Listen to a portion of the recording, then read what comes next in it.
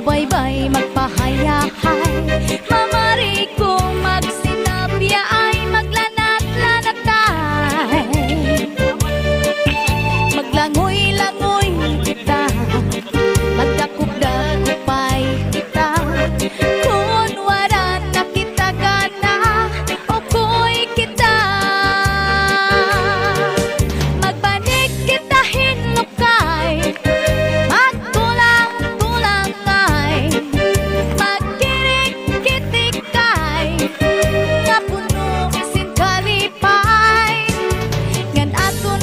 panahon na na magpapalala